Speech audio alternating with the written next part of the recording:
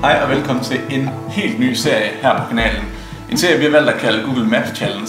Yes. Og det er jo ikke helt uden grund. Det er fordi, vi får rigtig, rigtig mange henvendelser på, hvor er det, vi egentlig fisker henad i vores videoer.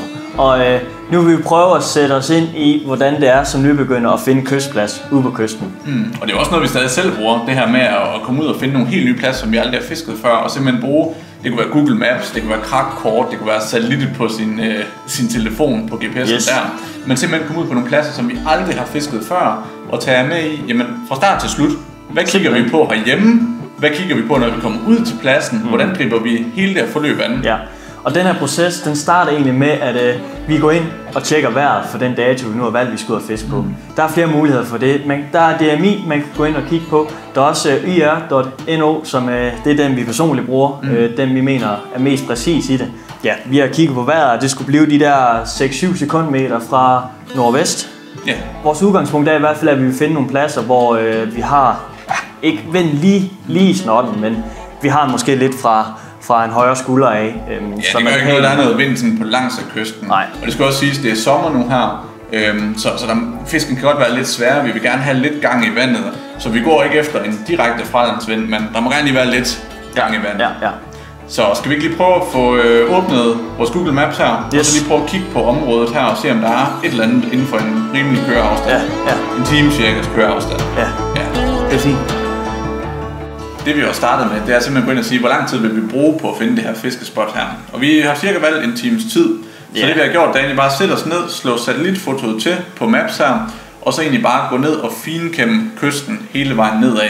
Og det er jo lige meget, hvor i landet man gør det, så er der jo kyststrækning på kyststrækning. Altså, Der er så mange kilometer vand Ja. derude. Og det er egentlig lidt, øh, det er utroligt spændende at få lov til at prøve det her, fordi at, øh, ja, det, det er lidt noget andet, fordi normalt så plejer man jo bare at gå ind og, og finde et fiskespot, og der er Ja. ja. også en rigtig stor tendens til, at man går ind og siger, jamen, gå ind og spørg på, på Facebook-grupperne, hvor Ja. kan man fiske hen, og hvor der er et godt fiskespot. Men jeg synes, det giver en eller anden tilfredsstillelse der med faktisk at få lov at prøve noget nyt vand. ja. Og altså, det vi godt kan lide at kigge efter, det er altså nogle pynter for eksempel, ud fra fastlandet af, som, øh, altså de her pynter her, de skaber tit ude på spidsen, enten nogle rev eller nogle spændende områder med noget strøm, der kører forbi, og det kan bare være utrolig giftigt. Mm. Og øh, det har vi heldigvis en hel masse af her Mm. Ja. i landet, og altså jeg synes, det her det ser umiddelbart sådan Mm, Ser det ser meget- mega godt ud. Noget af det, vi også har rigtig stor fokus på, når vi sidder og finder spots, det er jo også det her med vejret. Som Andersen nævnte, så har vi de her en, en 5-6 meter fra en, en nordvest. Øhm, og det er sommer, og det gør jo også, at vi har nogle, noget rimelig varmt vejr. Vi har cirka en 20-21 grader, øhm, og vandtemperaturen den er så på vej opad. Så når det er sommer, så kigger vi også meget på, jamen, er der nogle steder, hvor der er noget dybt vand inde under land? Det kan vi også se, der er her. Og det karakteriserer sig sådan typisk med, at det, det graduerer ud. Altså det starter med en lys tone, og så graduerer ud på mørk. Øh, hvor man ligesom kan se, at det bliver dybere ud af. Yes. Så noget dybt vand, og så også noget strøm. Noget strøm, ja. Mm. Øhm, noget åben kyst, nu her også. Det, det har vi bare gode erfaringer med. Ja. Det spiller. Men hvis vi sådan lige går ind og kigger på det spot, vi har fundet her, Ja, det ser sgu godt ud. det ser nemlig mega godt ud. Jeg synes, det ser fedt ud. Men der kan vi jo se, at der er ikke nogen sådan umiddelbart nogen vej ned til spottet. Og det kan jo både være godt og skidt. Har man nogle friske unge ben, som vi har, så Ja, fordi jeg tror ikke, vi kan parkere. det tror jeg heller ikke. Men så skal vi... Så skal vi gå. Vi Der skal er, gå langt. der er faktisk jævnt langt. Der er en 2-3 kilometer i hvert fald. Men det er også lidt eventyr. Men hvis vi parkerer der, så går vi ud, herud, Ja. og så tænker jeg jo næsten, for nu kommer vinden jo sådan skråt over fra her. Så hvis vi tager den nederste side her, Mm. prøv at zoome ind en gang. Der ligger noget i vandet, der i hvert fald. Ja. Og så hvis man går lidt længere hen ad kysten, så ser det også ud til, at der begynder at komme noget, øh, noget vegetation Ja. herover bag. Ja. Så, så der har vi faktisk, vi har faktisk, det ser ud til, at det er sandbund, og så har vi en del sådan leopardbund, vi kan kaste ud over, samtidig med nogle badekar herhen af, mm. hvilket jo ser mega cool ud. Øh, det kan godt ligne lidt på satellitfotoet, at der også er nogle skrænter der. Ja. Nemt. Og man Øhm. kan også se her på satellitfoto, altså det, er- der er noget rimelig grumset vand, så mm. det må vi bare se. Men herude spidsen, der er det ikke grumset. Nej, spidsen der til Ja, den gengæld, ser bare giftig det ser ud. mega godt ud. Og der kan man virkelig se det her med, at der kan komme vand fra begge sider og kreere en masse strøm. Ja. Plus vi har sådan et kæmpestort rev, der Ja. ligger derude. Øhm, og er der noget havren ligger lige, så er det strøm, det er rev, Ja. Stor sten. store sten Ja. og virkelig store havre. Det er en god kombi. Det er nemlig en rigtig god kombi. Så hvis du er frisk på det, så synes jeg egentlig bare, at vi skal få startet bilerne. Er det ikke bare, er det ikke bare der, vi skal hen? Det tænker jeg. Det er det værd at prøve det der, så det ser pisse godt ud. Cool. Hvorfor ikke? Lad os pakke sammen her, pakke Ja. ja. noget grej, og så få startet bilerne og komme afsted.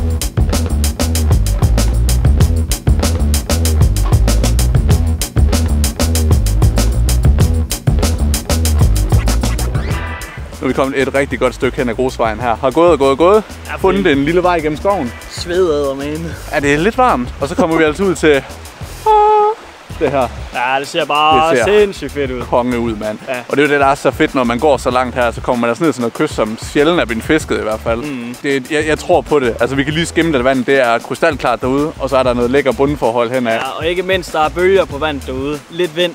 Så det er jo fuld sol i dag, og det kan godt være, at vi får en lidt svær øre, men med bølgerne på derude, lidt vind, altså så burde det være muligt. Det burde satme være muligt. Skal vi ikke lige prøve at se, om vi kommer ned ad den skrant her? Jo. Og så, øh, så ellers lige komme ned og se på vandet. Yes.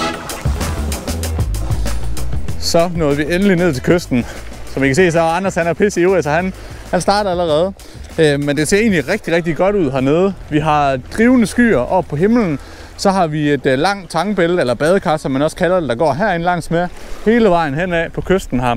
Øh, så kommer der en revl lidt længere ude, hvor vi har noget, øh, noget sand, og så kommer der nogle tangbælte længere ude. Men det fede nu her, det er jo egentlig, at vi kan gå et godt stræk her og fiske i det badekar herinde.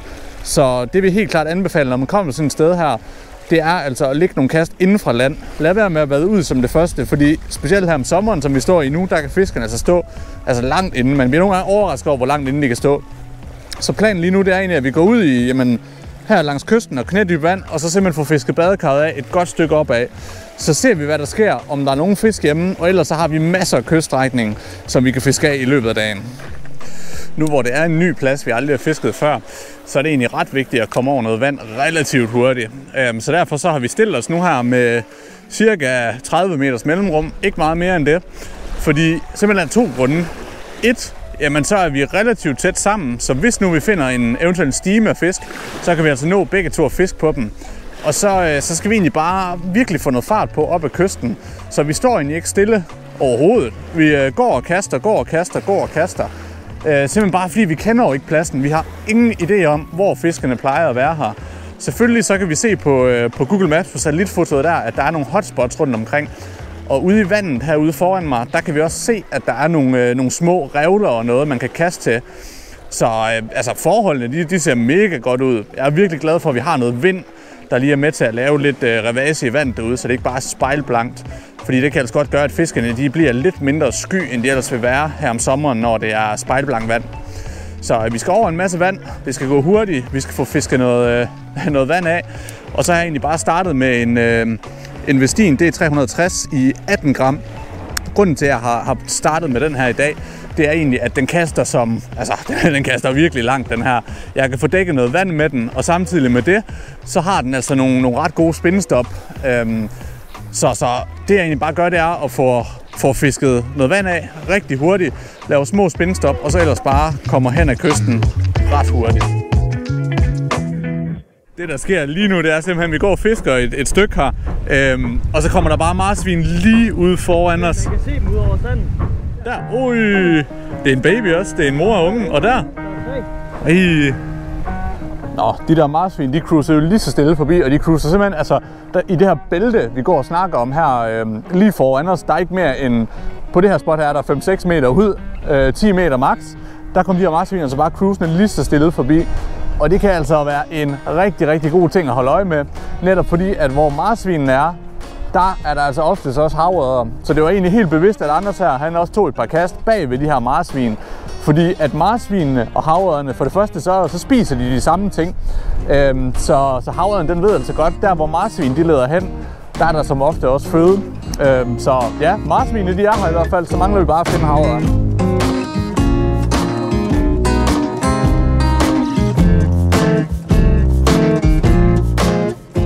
Status lige nu, det er, at vi har fisket et godt stykke hen af. Vi har ikke mærket noget nu. Vi har set de der marsvin der, hvilket var mega nice. Øh, men solen den banker bare ned nu her. Hvorfor? Den virker ikke. Det er fordi, der er børnesætning på. Du skal lige... Ja. Nu. Og imens han gør det, så kan jeg lige prøve at snakke Ah. lidt om, øh, om vandet herude. Fordi da vi sad og kiggede på Google Maps, der kunne man egentlig tydeligt se, at, øh, at det vi fisker på her, det er sådan noget... Øh, jamen, man skiftevis tangbælter inde ved kysten, og så egentlig et, øh, et, et nogenlunde lang sandrev, der går ud af. Øhm, og det er nogenlunde det samme her. Jeg vil sige, at tangbælterne de er lidt længere inden, end jeg havde forestillet mig. Nu har vi faktisk heller ikke kommet lige til at tjekke. Vi har ikke tjekket højere lavvande. Øhm, det kunne egentlig godt være, at vi skulle have gjort det. Det er altid en god idé, by the way, at tjekke højere lavvande. Øhm, generelt så på skiftet mellem højere lavvand eller lavvand og højere vande, det plejer at være rigtig godt. Øhm, så altså indtil videre, der ser det ud nogenlunde, som vi havde tænkt os i hvert fald. Ja. Vi er fortrøstningsfulde. Bare det, vi har set marsvin nu her, som har cruiset lige præcis på den, uh, på den kant, hvor havrederen de også skal gå. Altså, mm. det, det giver i hvert fald en tiltro. Sagde den. Du har lidt uh, snask på næsen. Jeg, jeg kan ikke se noget. Er det slemt?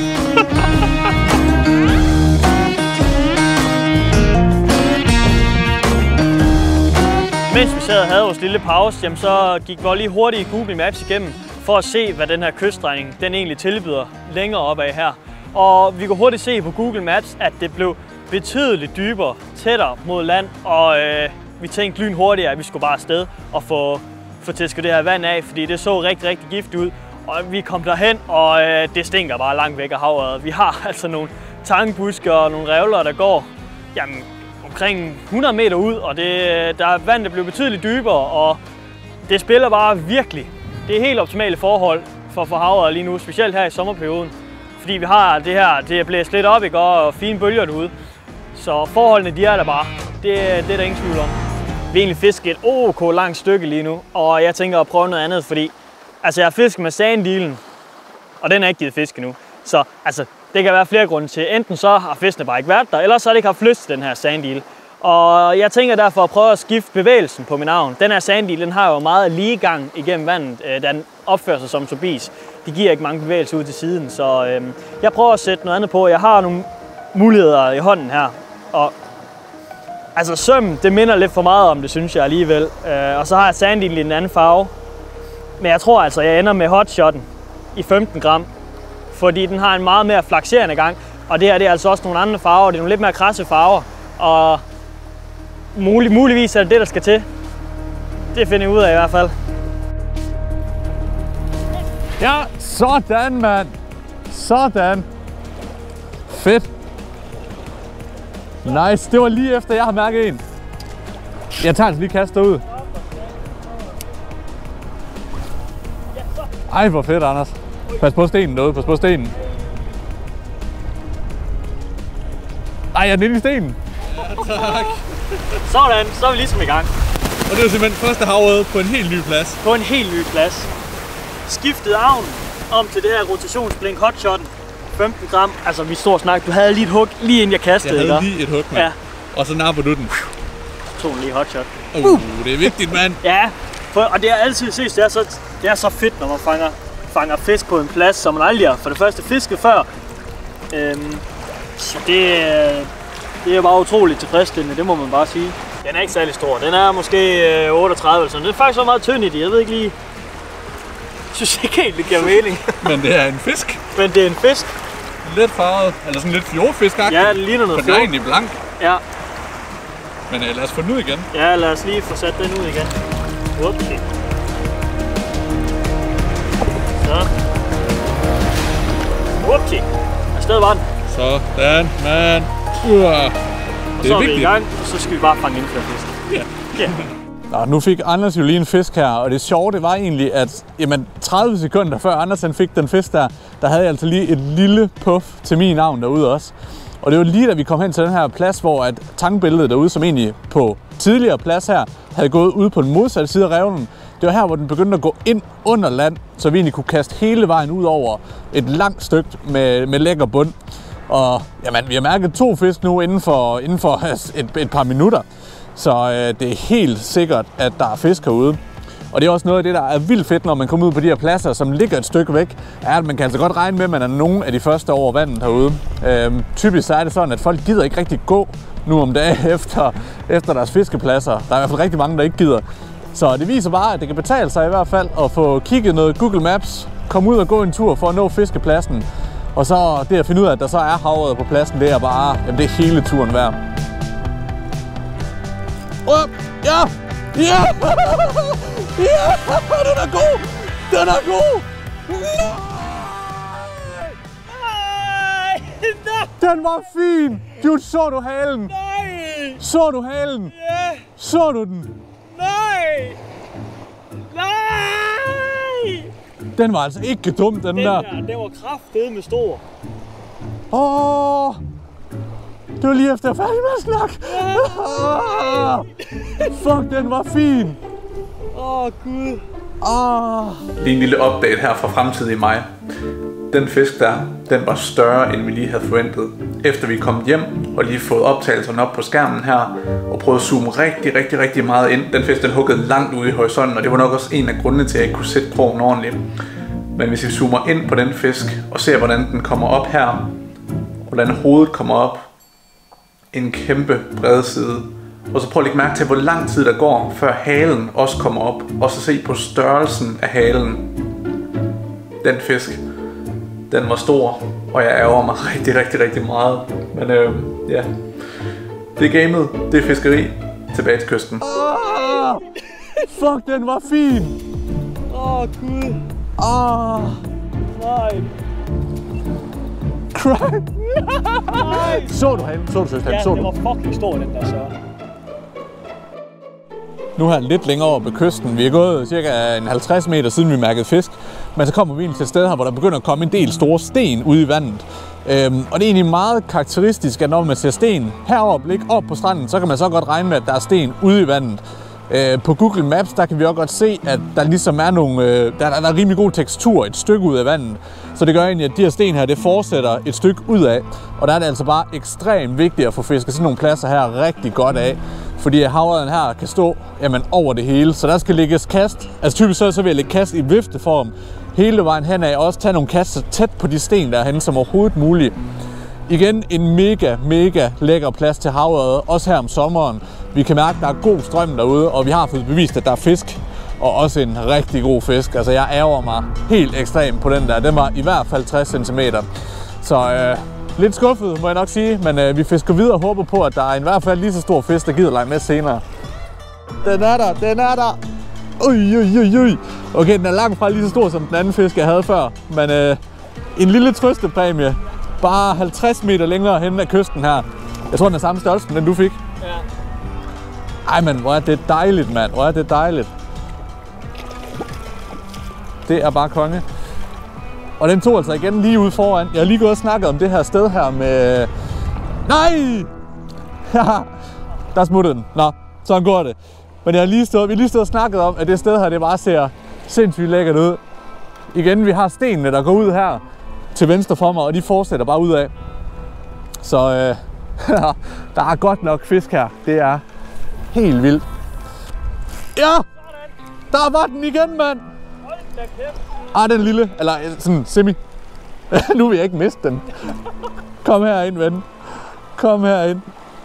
Ej, den er lille, den her, Anders. Jeg ikke kamera på. Ej, jeg tror, den er næsten så lille, tror jeg, at det, at det kan næsten ikke svare sig.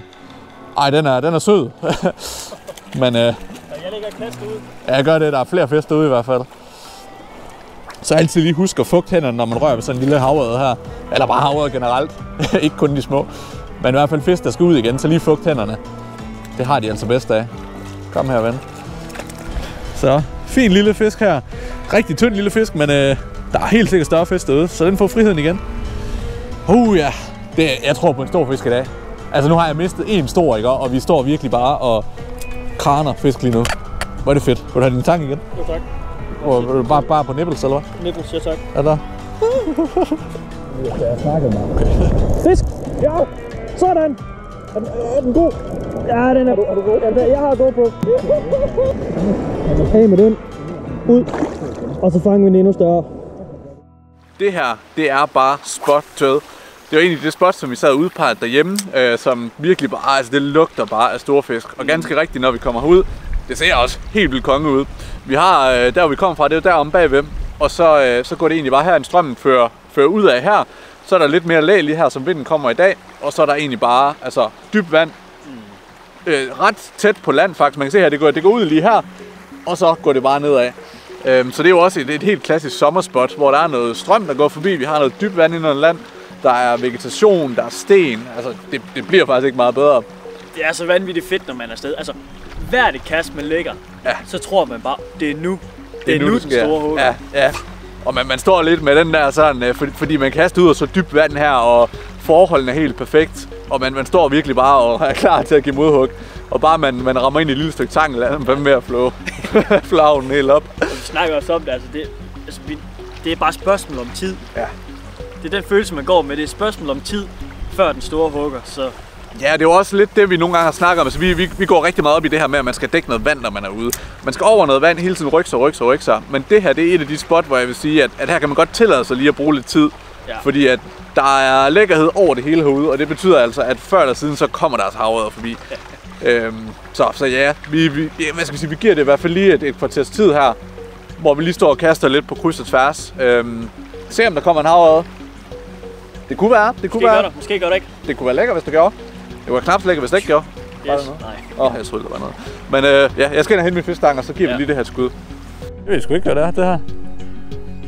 Det er en... En meget lille havrødder. Okay, okay. Det er fedt nok, at vi kommer til det spot, som vi tror allermest på. Bare stå og hyper det helt vildt og siger, det her, det er bare storfiskespot. Og så den eneste kontakt, man får overhovedet, det er sådan en lille, lille kanalling her. Kom her. Og off you go. Det var fisken på vores storfiskespot. Det er bare fedt. Nu får vi jo generelt en hel masse spørgsmål på, hvilke grej det er, vi bruger her i videoerne. Så jeg tænker lige, nu vi sat os ned, så prøver vi lige at gå igennem nogenlunde, hvad vi, øh, hvad vi bruger i dag i hvert fald. Mm. Stangen, du kører med. Stangen, jeg kører med, Savage Gear, Custom Coastal, 7-23 gram. Lækker stang. Lækker stang, og den dækker fint det behov, vi har til den her kyststrækning. Kommer ikke over 23 gram. Nej, og 7 til 23, det er også en fin. Den kan du både bruge i fjorden, den kan du bruge på yderkysten osv. Det, det er en god allround. God allround stang, øhm, som har en super fed klinge at kaste med. Ja, Og lige inden vi gik i gang, jamen, så fik jeg monteret en ny øh, flatline. det er rigtigt. Vi har nemlig fået en ordentlig røv på liner fra yes. Sufix ind på shoppen. Hvor det her, det er sådan, hvad skal man sige, topmodellen Ja. inden for, for deres serie med en uh, 13-trådet fletline. Ja. Og altså normalvis så bliver jeg ikke... Øh, altså kommer jeg ikke som sådan op og støde over liner og det, men altså den her...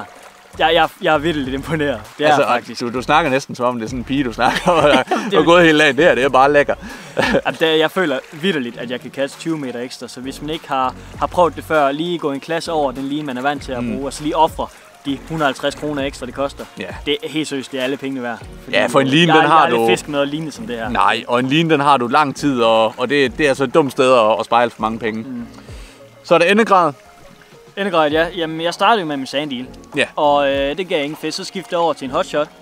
Det gav lige pludselig nogle fisk. Øh, et på hotshot og en på ophængerfluen. Mm. Øhm, men så begyndte du at rende ind i nogle fisk igen på den neutrale. Ja. Øh, og så skiftede over til en sømmet øh, i 22 gram her. Ja. Yes. Og det jeg går med i dag, for at lige tage det også ganske kort, så har jeg taget min uh, Savage Gear Parabellum med i dag. Og for lige sådan at, at sammenligne Parabellum-stangen og så Custom Coastal-stangen, så uh, Custom Coastal den er en lille smule stivere end Parabellum-stangen. Så Parabellum den er lidt sjovere at fejle små fisk på, eller også store for den sags skyld. Men du har altså lidt mere ryggrad, også til at, at kaste længere med Custom Coastal-stangen. Men begge to super, super fine stænger. Jeg vil jamen, ikke vælge den ene frem for den anden. De er begge to rare her. Ja. Øhm, af endegrej, der starter jeg ud med den her øh, Vestin D360, som er en rigtig god, sådan, hvad skal man sige, altså inden for gedefiskeriet, der har vi noget, der hedder en search bait, som er noget, hvis vi skal dække en masse vand, og øh, simpelthen have fundet fiskene. Det er lidt det samme i dag, og der er den her D360, altså, altså D360 hedder den, rigtig god til at komme over en masse vand, få dækket noget, og fisken kan se den på lang afstand. Mm. Så ja. den har egentlig gået med indtil nu, og jeg tror ikke, jeg skifter lige i forløbet. Den har i hvert fald øh, givet en fisk indtil videre. Det må man sige. Så det er i hvert fald sådan det grej, vi har gået med i dag, og kommer til at bruge resten af dagen. Øhm, men øh, som vi sidder her og kigger ud af vandet, så kribler det altså lidt i fingrene for at, at komme ud og fortsætte. Vi skal ud og fange endnu større. Endnu større. Jeg vil kalde det fisk igen.